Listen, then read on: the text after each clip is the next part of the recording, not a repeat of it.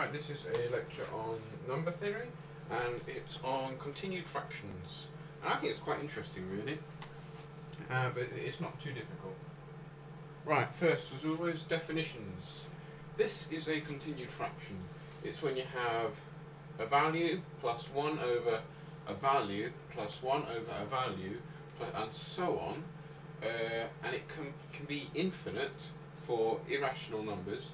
If it does stop then it means it's a rational number, you know, so 3 over 10 or whatever. And what we've got here, we denote, we denote this in this form. So we have a naught, which is our very first part. We have semicolon a1, comma a2, and these are the partial quotients because they're parts of a, a fraction. Um, and the method we use to find the continued fraction is here. So we have like x1 is 1 over x naught minus the integer part of x naught. That's what the brackets are meaning, the integer part.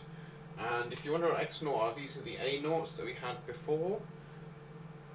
So a naught is just the integer part of x naught, which is just your number to start off with. x2, just the same as this, we just get the formula here, x k plus 1 is 1 over xk minus the integer part of xk, with all the ak's equaling the integer part of the xk. And once you've found all these, we've got some. We've got an example coming up. Uh, we can use a method to approximate our value. So if it's an irrational number, then it's quite useful to find an approximate approximation. So we use these initial things here with P0 is A0, P1 is A1 times A0 plus 1, P, uh, Q0 is 1, Q1 is A1, and Pn is An times Pn minus 1 plus Pn minus 2, that's why I needed to give you these two, and the Qn is just the same really but with Q's. And if we put them in the form Pn over Qn, this will give you an approximation. Uh, and this, this does give a quite a close approximation. As the n gets bigger, it will give you an error of less than 1 over Qn squared. Right now, we've got an example. We want to find, or just ignore that, that should have been gone. Uh, find the continued fraction for the square root of 11. Now, if you did square root of 11 on your calculator, or you can just guess to start off with. Uh, you know 9 is 3 and uh, 16 is 4, so it's going to be, be between 3 and 4, but we get 3.3166 as our value for square root of 11. We want the integer part of this, which is 3, and then we want to do the 1 over this minus this. So you're just doing 1 over the decimal part of each the, num the number each time. And this gives us the value for x1, which is 3.1583. So that's our x1. And of course, x1 is equal, a1 is equal to the integer part of the x1. So our a1 is 3. Up here, a0 is going to be 3.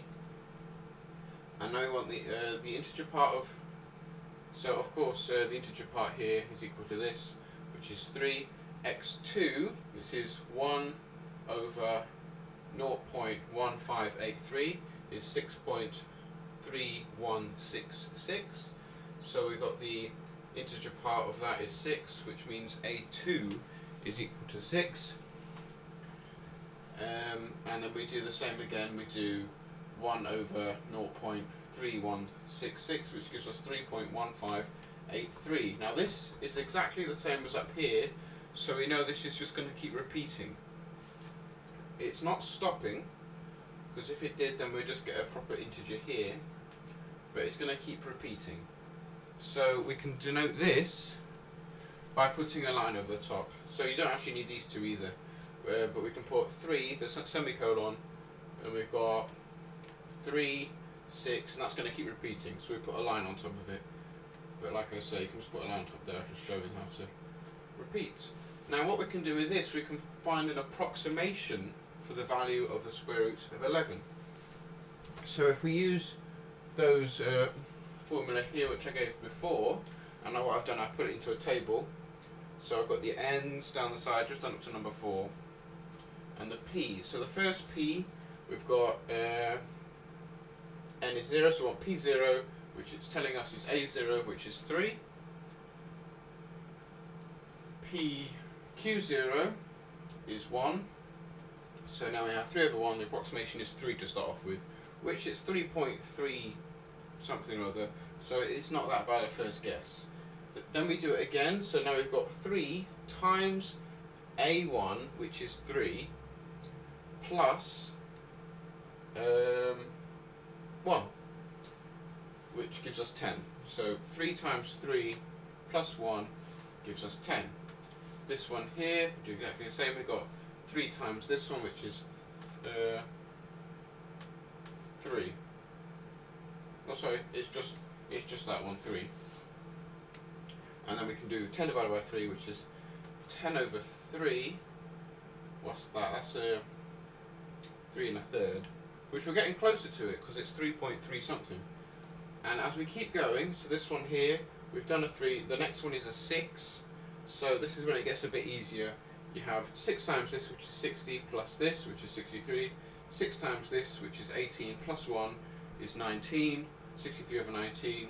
And it's getting really, really close. Like I said, the error is 1 over this squared.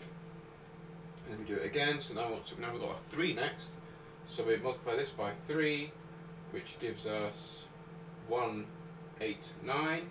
Then we add the 10, 199. This times 3, 57 plus 3 is 60. That's why it's useful to do it in a table. 199 over 60. And these and this one as well, this is really close. Um, when you're doing it with pi, you actually get, well first you get 3, and then I think the next one you get is 7 over 22. No, 22 over 7, which is the approximation that's given when you're back in primary school, which is quite a, well, high school, which is this where this comes into, into use. I thought that was quite interesting.